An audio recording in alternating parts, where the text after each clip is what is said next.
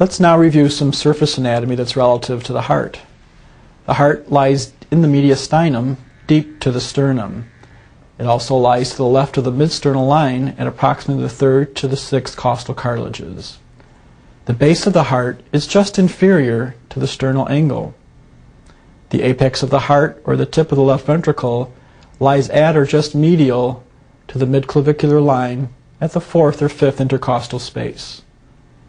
The precordium is the area of the chest wall that overlies the anterior surface of the heart.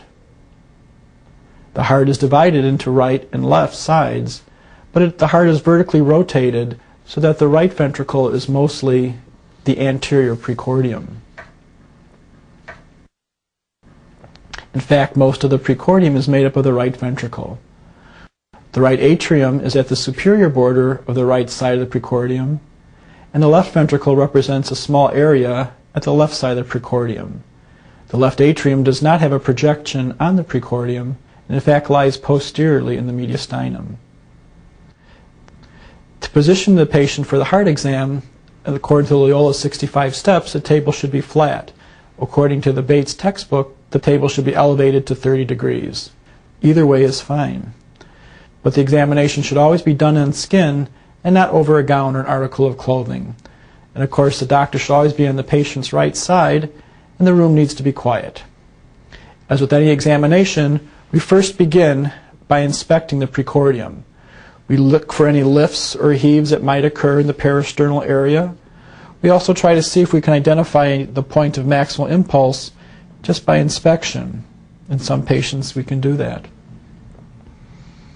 Also, after we've finished inspecting with the patient supine, sometimes it helps to find the PMI by having the patient roll 45 degrees to the left side. And at that point, sometimes it's easier to identify the point of maximal impulse right there. Okay, you can lay flat again, Thad. If rolling over on the side isn't enough to bring the PMI uh, out, then you can also ask the patient to exhale fully and hold their breath for a few seconds while you look for the PMI. The second part of the examination is palpation. For palpation, it's recommended you use the base of the fingers or the metacarpal phalangeal joints for palpation. And there's five different locations that you need to palpate. You palpate in the aortic area or the right second intercostal space. Next, in the left second intercostal space or the pulmonic area. Then, in the left parasternal area. Then, towards the apex of the heart, or where the PMI is, in the fourth or fifth intercostal space in the midclavicular line. And finally, in the epigastrium. When you're palpating, you're trying to identify if there's any uh, lifts against your uh, hand of the heart as it contracts. The PMI will feel like a gentle tap or brief thrust against your hand. Some texts advocate using the finger pads to feel in the left parasternal area. Once you identify the PMI with the uh, metacarpal phalangeal joints, further identify it by using just your finger uh, pads. The PMI can be characterized by diameter, duration, and amplitude. Normally, the diameter is less than 2.5 centimeters, or one intercostal space. If you have to lay two or three fingers next to each other to feel the entire PMI, then the PMI diameter is enlarged. Also, feel for the duration of the PMI, and you need to listen or auscultate to the heart while doing this. Normally, the sense of uh, maximal impulse lasts for less than two thirds of systole. If the impulse continues all the way through systole to S2, the patient could have ventricular hypertrophy from chronic hypertension. And finally, feel for the amplitude of the PMI. Again, it should just be a gentle tap against your finger pads. If the amplitude feels very light, the heart is probably contracting less vigorously, as happens with a dilated cardiomyopathy. If the amplitude is increased or vigorous, that can sometimes be seen in high cardiac output states such as severe anemia or hyperthyroidism. Again, if you can't feel the PMI with the patient supine, again, if that you could roll over to your left side about 45 degrees, and exhale fully. Again, this makes it more obvious the, the PMI by this maneuver. Okay, you can lay back. Sometimes the patient has a very muscular chest wall, or a patient who's very obese, or a patient has a very increased AP diameter of the chest, as happens with emphysema, uh, the PMI cannot be palpated. If you can't palpate the PMI, another way to identify the left heart border is by percussion. Um, and this is a step that's not normally done, but with the patient supine in approximately the fourth interspace, begin percussing from about the anterior axillary line and move medially till you hear resonance of the lung change to dullness.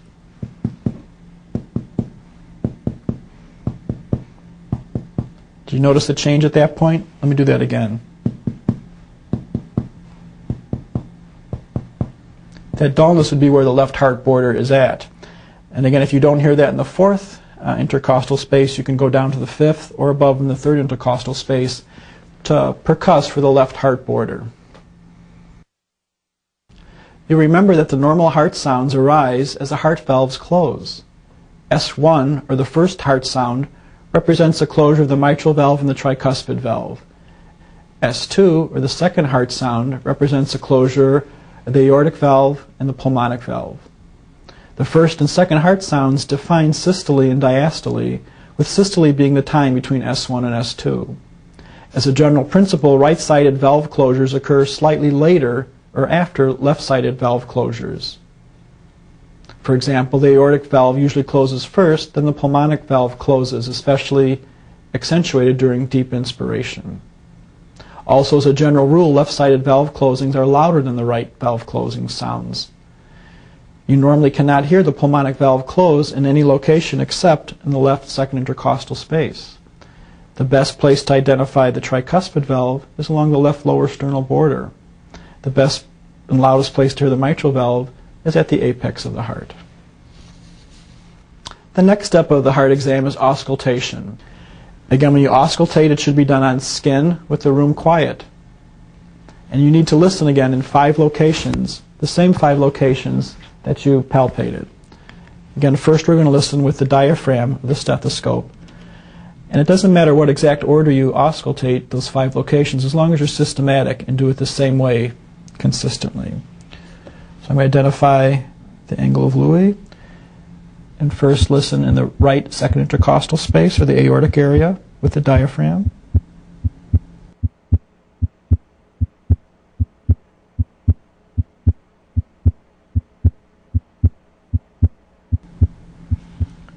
Then the left second intercostal space.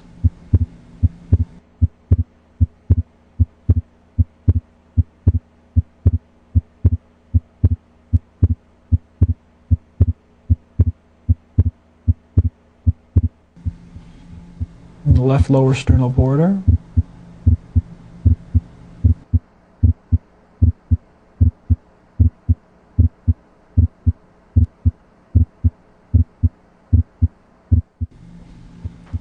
Then at the point of maximal impulse, or the apex,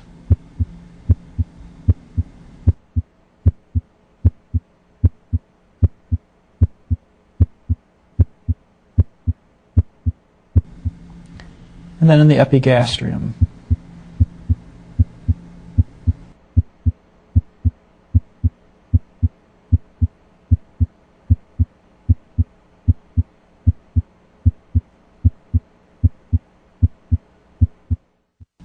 I'm going to repeat all of those by listening with the bell of my stethoscope.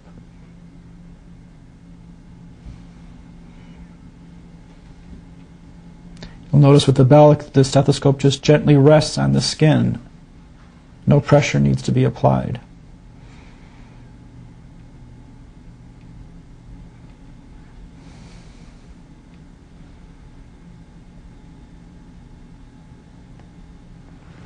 And take your time when you're auscultating. You'll know that there are specific sounds that are heard loudest at certain locations. Again, S1 is loudest at the apex, and S2 is loudest at the base of the heart. Take time to listen in each area and concentrate your attention and focus on the things that you know belong in that area of the heart. And remember to listen in all five areas with both sides of your stethoscope. Sometimes you need to do extra maneuvers or positions to bring the heart closer to the chest wall. You may ask the patient to roll on their left side. Again, if you could roll over on the left, about 45 degrees. Exhale completely. Again, this maneuver brings the heart closer to the chest wall and aids in auscultation. Okay, you can breathe.